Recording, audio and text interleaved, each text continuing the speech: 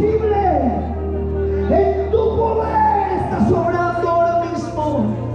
Señor, gracias. Gracias. Gracias porque ahora mismo estás tocando a mi esposa.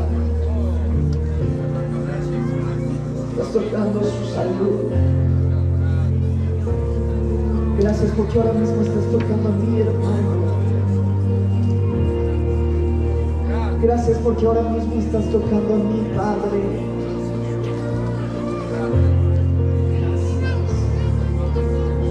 En el nombre de Jesús, con toda la fuerza de tus manos, con la intensidad de tu corazón, dale fuertes palmas al Señor esta noche.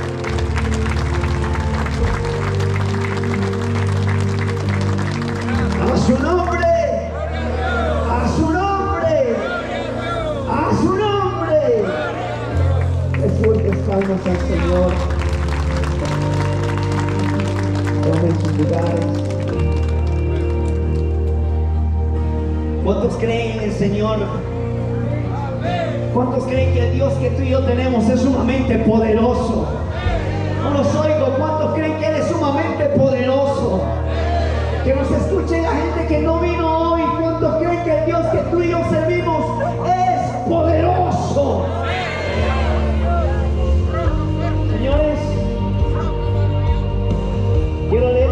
este pasaje bíblico. En el libro de Lucas, capítulo 8, verso 50. Lucas 8, verso 50. Mientras estaba en el cuarto, tenía esta palabra trayendo paz a mi corazón. Dice el libro de Lucas, capítulo 8, verso 50, dice, oyéndole Jesús, le respondió, ¿qué dijo? Lucas capítulo 8, verso 50, ¿qué dice? Oyéndolo Jesús, le respondió, ¿qué le respondió? Grítalo, ¿qué le respondió? Una vez más, ¿qué le respondió? ¿Qué más? Cree solamente y será salva.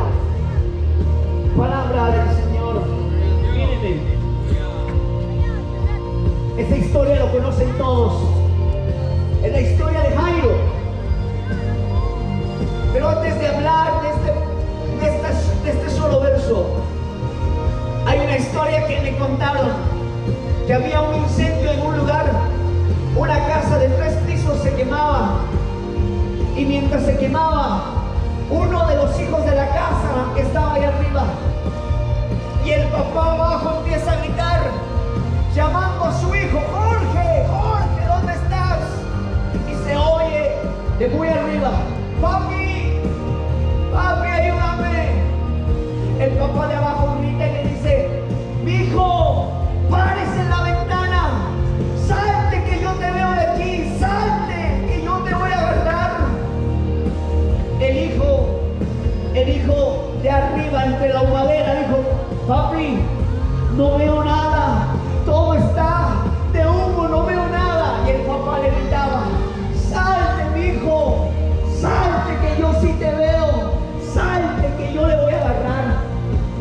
Segundos después, aquel muchacho saltó sin pensarlo.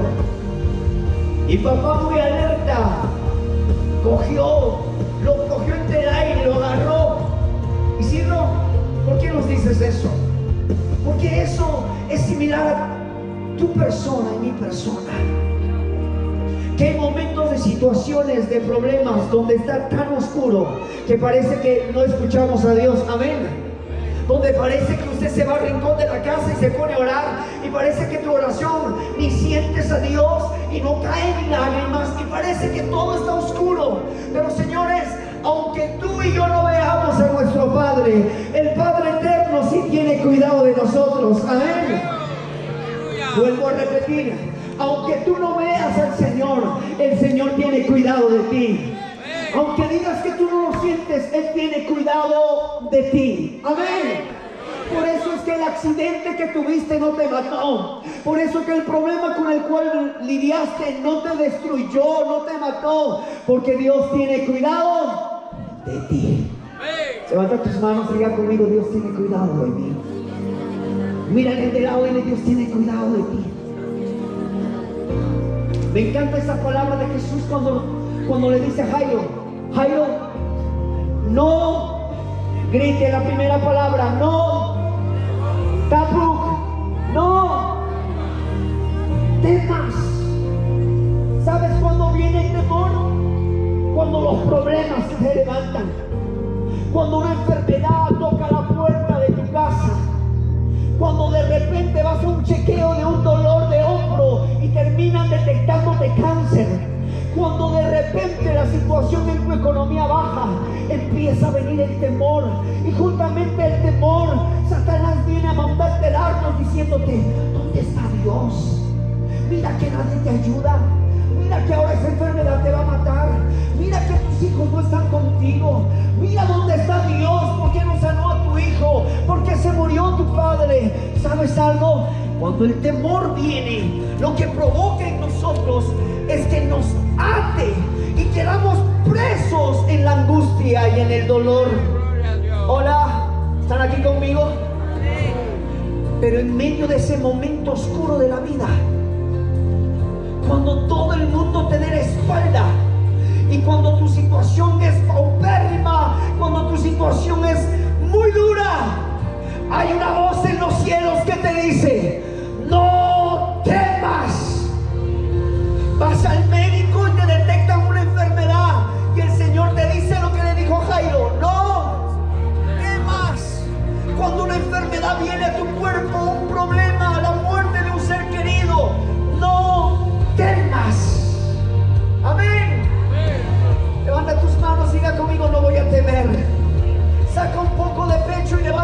y dile al de lado de él, no temas. Amén. La primera palabra que el Señor le da a Jairo, le dice, no temas. Jairo, no temas. ¿Sabes por qué se lo dice? Porque Jairo, un principal de la sinagoga, Jairo no era cualquier tipo. Jairo no era alguien que de repente pasó y se metió al culto. Jairo dirigía los cultos. Jairo exhortaba.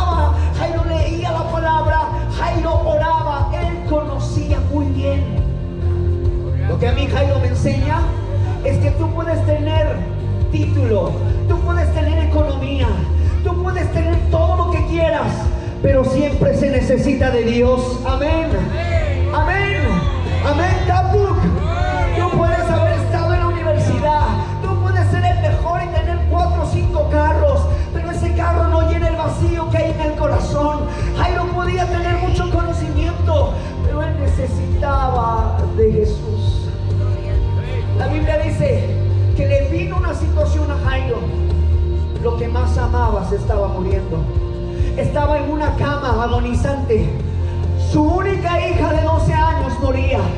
Y cuando vio esa situación, Jairo dijo, yo sé demasiado. Pero en medio de mi conocimiento también sé algo.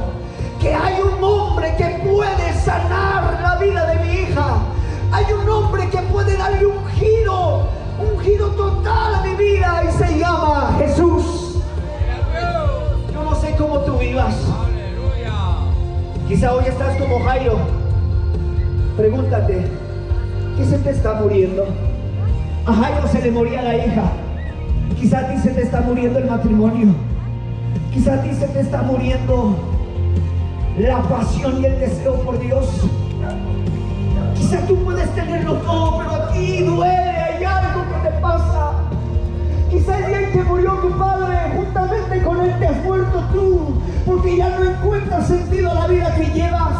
Quizá el día que enterraste a tu hijo, juntamente con él te enterraste, porque desde que él murió tu vida cambió radicalmente. Pero hoy vengo en el nombre de Jesús, en esta tierra de Tápuga, a decirte que Jesucristo está en este lugar y Jesús quiere cambiarte la vida. Oh, alguien alabe la gloria de Dios. Jesús quiere cambiarte la vida. Jesús quiere dar un giro completo a tu vida. Jairo, se le está muriendo la hija. Corre a Jesús. La primera cosa que te voy a pedir esta noche es, analízate. En medio de tu sonrisa, delante de todo el mundo que hay aquí adentro, que se está muriendo dentro de ti. Tu relación con tus hijos, tu relación con tus padres, tu relación con Jesucristo. Pero sabes, Jairo lo que hace es esto. Cuando Jesús venía, dice que el pueblo empezó a celebrar porque esperaban a Jesús en medio de celebración. Señores, eso me da a entender que cada vez que Jesús llega a un lugar, produce esperanza. Amén. Amén. Cuando Jesús llega a un lugar oscuro, ese lugar se llena de luz y esperanza. Cuando Jesús llegaba a un lugar de muerte, la vida empezaba a fluir. Jairo corre a los pies de Jesús. Dice la Biblia que miró a Jesús, se tiró a sus pies y rogó. Diga conmigo, rogó. Grita esa palabra, diga, rogó. ¿Qué hizo Jairo? Y sabes, cuando alguien ruega, tiene esta postura, inclinarse delante de alguien y levantar sus manos. Es esa postura que Jairo tomó y le dijo, maestro, ven a mi casa. Yo no sé si tú has perdido un ser amado. Yo no sé si tú has pasado un momento duro. ¿Cómo era tu oración? Tu oración no era sencilla. Tu oración se, se convirtió como la de Jairo. ¿Quieres ver un milagro de Dios en tu vida? Pregunto, ¿quieres ver un milagro de Dios en tu casa? Es hora de hacer lo que hizo Jairo levantó sus manos y rogó Señor.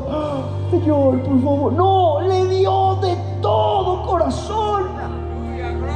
Lo que más amaba se estaba muriendo. Y él decía, yo no puedo darle nada, pero sí puedo hacer algo. Puedo rogarle. Y él empezó a creer en el Jesús de quien todo el mundo hablaba.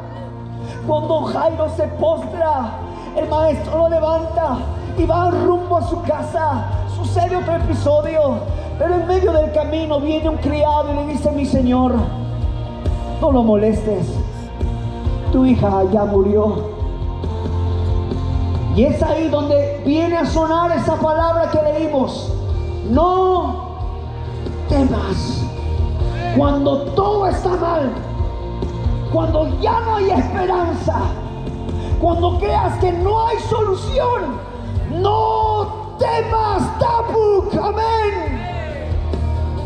Lo único que no tiene esperanza para nosotros es la muerte, pero para Jesús, aún cuando uno está muriendo, aún cuando uno muere, siempre hay esperanza en Cristo Jesús, amén, amén. Jesús le dice la primera palabra, no temas. Porque cuando tú empiezas a temer a la situación, cuando tú empiezas a tener ese, miedo dentro de ti, ese miedo te enlaza. ¿Y si me muero? ¿Y si mi hijo muere? ¿Y si, y si me quedo sin dinero? ¿Y si me dejan solo? Te enlazas al dolor y a la angustia. Míreme, míreme, ya termino, escuche. ¿Se acuerda usted cuando Jesús estaba en la barca? Jesús se duerme, ¿sí o no? Dice la Biblia que empezaron a, soplar fuertes vientos. Empezó a, caer un, torrencial de lluvias. Y entre ellos truenos, relámpagos. Y Jesús seguía durmiendo. A Jesús no lo despiertan los truenos. A Jesús no lo despiertan los vientos. A Jesús no lo despertó ni la lluvia. ¿Sabes qué le despertó a Jesús? que sus discípulos le griten, Maestro, nos hundimos. Eso a mí me encanta. Que a Jesús no le levantan truenos, pero sí le levanta la voz de sus hijos. Amén. Amén.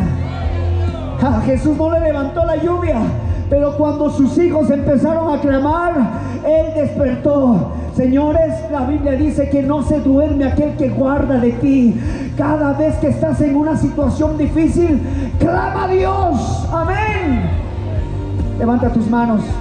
Diga conmigo, no voy a temer. Grítalo, diga, no voy a temer. Voy a clamar. Voy a rogar. Amén. Lo primero que Jesús le dice, no temas. Tiene cáncer usted. Gracias, Señor. Ese papel dice cáncer terminal.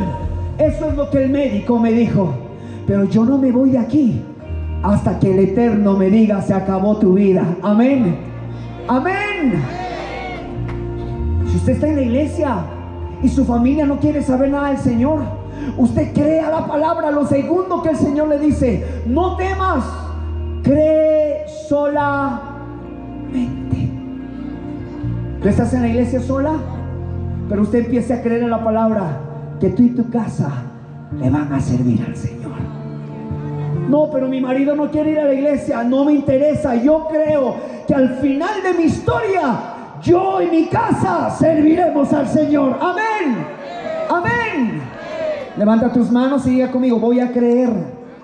Sacúdele al de lado y dile, cree, cree, cree, cree, cree. ¿Cuántos creen en el Señor? Pero ¿por qué cuando les viene un problema lo primero que hacen es escapar? Hola. Porque de repente te enfermas y una enfermedad, lo primero que haces es amargarte con Dios. ¿Cuántos creen que su Señor es su proveedor? Porque cuando no hay ni dinero, ni, ni la chacra, ni los, ni los animales producen, ¿por qué te desesperas? El Señor te dice, cree solamente. ¿Cuántos creen en el Señor? Levanten la mano los que creen en el Señor. ¿Seguros? Me encanta las escrituras en Proverbios cuando dice que vivirán tranquilos los que confían en el Señor. El que cree en el Señor anda seguro, hermano. Amén. El que cree en el Señor anda con una sonrisa en la cara a pesar de que está pasando un momento feo. ¿Por qué dicen que los cristianos somos locos? Porque la gente nos llama locos por una razón. Porque la gente de allá afuera no entiende cómo es posible que estás pasando un momento duro y tú estás con una sonrisa en la cara. Eso es de locos, ¿sí o no? Ellos dicen, ¿cómo rayos está alegre después que le dijeron que va a morir? Y tú dices, no me interesa, para mí el morir es ganancia. Amén. Cree, cree. Cuando la situación se pone fea, cree solamente. ¿Cuántos creen en el Señor? ¿Cuántos van a creer más? Usted tiene que aferrarse en el Señor, creer en Él hasta el final. Cree en Él. Ancle su fe y su esperanza en Jesús. Creer en el Señor es como se hablaba por la tarde es estar firme en la posición que te encuentras. La Biblia habla que dos hombres construyeron su casa. Uno construyó en la arena, el otro construyó en una roca. Y no interesa si está en la roca o en la arena, a los dos le vino problemas, a los dos le vino tormenta. Eso nos enseña que aunque estés en la roca, van a haber problemas. Amén. Pero hay una situación diferente que el que ha construido su creencia y su esperanza en cosas como arena se va a derrumbar cuando venga la tormenta. Pero aquel que pone su fe, su confianza y cree con todo el corazón en Jesús, van a venir tormentas, van a venir pestes, van a venir enfermedades. Usted va a estar confiado en su hacedor. Amén. Alabe la gloria de Dios por eso. ¿Cuántos creen en el Señor? ¿Seguros? Yo no sé, y eso no se trata de creer solo en iglesia. La Biblia dice que tú y yo no andemos con nuestros ojos naturales. Nosotros tenemos que andar con nuestras vistas espiritual. Amén. A mí me encanta Moisés que caminó como viendo al invisible. Tú y yo deberíamos caminar todos nuestros días mirando a Jesucristo. Porque en Él, Señor, mi hermano, mi hermana, debería de estar nuestra esperanza. Por eso es que cuando vengan los problemas, el Señor te dice la primera palabra, no temas. Porque si tú le vas a tener miedo a eso, olvídese. Esa situación, por más pequeña que sea, tú lo vas a ver como un Goliat gigante. Es como una historia que, que alguien contaba, que un hermano siempre iba a visitar a la casa de una hermana, pero siempre iba con miedo. Y cada vez que se acercaba a la puerta y empezaba un perro detrás de la puerta. Y el hermano escapaba. Un día la hermana le dice, ¿por qué le tienes miedo a mi perro? Es un pitbull, es grande. Y la hermana se ríe y le dice, si tú supieras, hermano, mi perro será un pitbull, será grande, pero no tiene dientes, es chimuelo. Si te muerde, lo único que va a hacer es lamerte. Porque no tiene dientes. Y eso, eso me da a entender algo. Que a veces cuando nosotros le tenemos miedo a una situación, el miedo provoca, señores, de que nosotros nos hagamos imaginaciones. Hubo un hombre en la, en la, Biblia que no le tuvo miedo a un gigante y fue David. No le tengas miedo a los problemas. Problemas van a venir. Pero estas situaciones lo que van a provocar es que tú y yo estemos confiados en el Señor. Amén. Problemas van a venir, pero eso va a provocar que nuestra fe